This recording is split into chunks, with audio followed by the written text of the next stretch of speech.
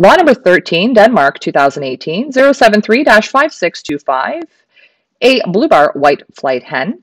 Original Anders Brobech with Flor Engels and Bart Geerinckx. Direct off the race team, a proven flyer and winner. This is Bella.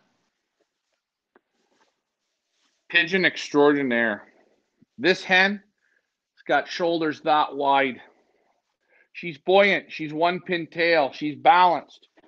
That little bit of extra weight she's holding is opening up her vents a bit. Muscle, forearm. Wow.